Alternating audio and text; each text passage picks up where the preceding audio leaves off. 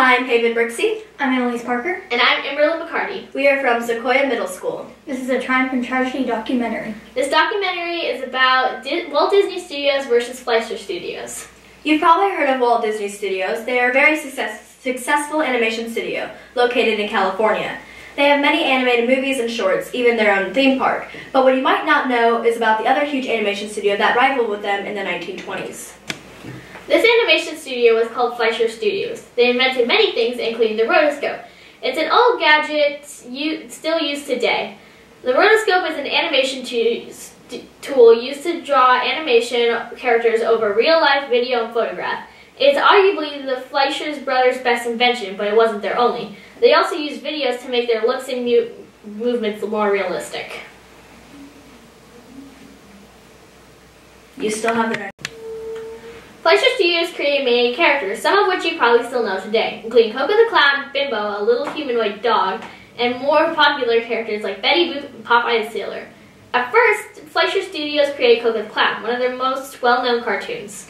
About two years later, Disney created Oswald the Lucky Rabbit, who became more popular than Koko. Although Oswald wasn't legally Disney Studios character, he was leased to Universal Pictures, who later betrayed his company.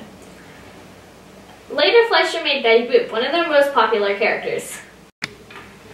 Disney was desperate for another character after the Universal Pictures ordeal, so he and his partner, Ub Iwerks, created Mickey Mouse, one of the most well-known, if not the most well-known, cartoon character in the world.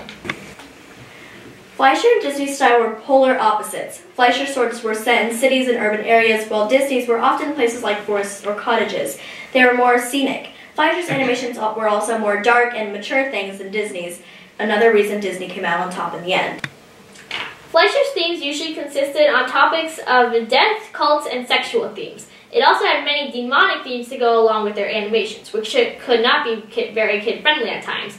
Since Fleischer's main target audience was older teens and adults, and cartoons appealed to children, they did not do as well as Disney, whose main target audience was children. Disney's approach to the plot was very different. They made stories of fairy tales with beautiful scenery, beautiful people, villains, daring rescues, and happy endings. Disney Studios' first fully animated movie was Snow White and the Seven Dwarfs. It is still a very noteworthy movie to this day. It was such a success, in fact, that the Oscars made a custom award just for the movie. A normal human statue with seven smaller statues right behind it.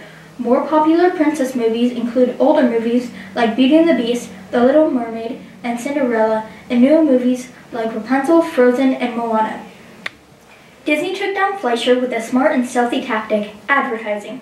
Their lovable characters mixed with Walt Disney's smart advertising abilities gave them a big advantage. Although Fleischer had some advertising, for example, Betty Boop posters, clocks, etc., Disney was stronger in that area, which is another reason Disney came out on top. While it's not exactly clear when the feud started, a good estimate would be around 1928. Ask anyone, what was the first cartoon with synchronized sound? And they'll most likely say Steamboat Willie. If you don't know what that is, it is a Walt Disney Studios short film with synchronized sound starring Mickey Mouse that aired in 1928. But the truth is, on April 13, 1926, Fleischer Studios released My Old Kentucky Home, which had a dog saying, Follow the ball and join in, everybody, synchronized with the dog saying it in the cartoon. But Disney marketing and advertising led everyone to believe it was the first. Understandably, the Fleischer brothers were not happy about this. Fleischer Studios despised Disney so much, their early cartoons often had evil Mickey Mouses in them. One example of this is the short Bimbo's Initiation, aired in 1931, where Bimbo the dog is locked in the sewer system by an evil Mickey. After being locked in the sewers, Bimbo is confronted by a cult. They repeatedly ask him. When Bimbo refuses, the people would then torture him and ask again. After a while of torture, Bimbo finally agrees, and it turns out the entire cult was made of Betty Boops. Weird, I know. Fleischer Studios was forced to make her tiny skirt longer and alter her personality. Her appearance, which was also, which was also altered, which caused her once curvy curves, made her look more chubby. These changes made her less appealing to the main target audience and her popularity went down. In the end, all these faults and disadvantages led to the closing of Fleischer Studios. They were heavy in debt and couldn't stop the impending doom. Max and Dave Fleischer were both forced to give up all copyright information to their distributor, Paramount Pictures, after being fired. They, the, the company was then renamed Famous Studios. The brothers went their separate ways, though they both continued to make cartoons. Max became made television cartoons and educational films, while Dave supervised in Columbia and Universal Studios. Disney never retired. He worked up until his last breath. He died at age 65 from lung cancer right after the beginning of building Walt Disney World. Disney died with a legacy. But unfortunately, Fleisch, Max and Dave Fleischer's names were almost completely erased from history. While Fla- Fleischer, Fleischer was, I'll cut that out. When Fleischer was left to die and die out and never be remembered, Disney was triumphantly and moved on. And this concludes our presentation.